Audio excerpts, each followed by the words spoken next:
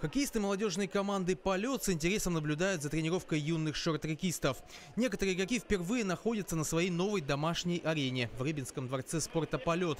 Команда Национальной молодежной хоккейной лиги образована в июле этого года на базе другого клуба НМХЛ «Драгуны» из Можайска.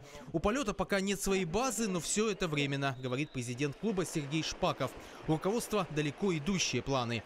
Это все делается для того, чтобы рыбинский полет, это чтобы сделать хорошую школу. А команда это то, что удержит, понимаете, и то, что сразу даст имидж э, рыбинскую. Ну, Можайске удалось создать хорошую школу, которую пришли там вообще по два, по три ребенка. Сделали все хорошие возраста, хорошую команду МХЛовскую. Здесь потенциал больше, город большой, детей больше. Можайск 30 тысяч, а здесь 250, понимаете, разница.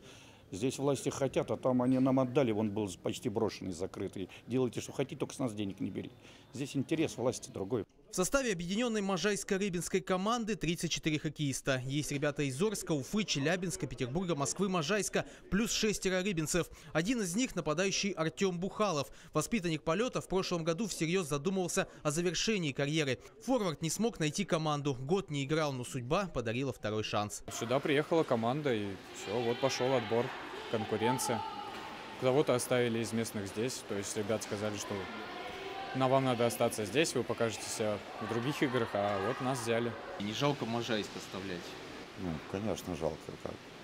Но, в принципе, все равно э, основную работу мы перевезли сюда. Единственное, что потеряли немножко, может быть, каких-то там э, уже в наработанных моментах, а в остальном выстроим здесь.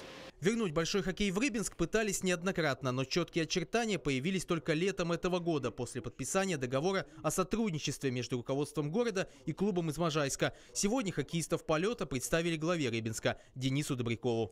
Принятие решения об участии команды «Рыбинск полет» в молодежной хоккейной лиге, поверьте, пришлось очень сильно потрудиться и даже чем-то пожертвовать. Теперь слово за нами с вами, да, чтобы в данной ситуации показать, что эта команда одна из самых перспективных в России молодежных команд. Вот. Не, не по, может быть, не по уровню теперешней подготовки, но по духу это точно. Свой первый официальный матч команда «Полет» проведет 17 сентября на выезде против команды «Липецк». Ну а здесь, на льду Дворца спорта «Полет» перед своей публикой рыбинцы предстанут 30 сентября в поединке против питерского СКА «Варяги». Владимир Летуновский, Сергей Гордиенко. День в событиях.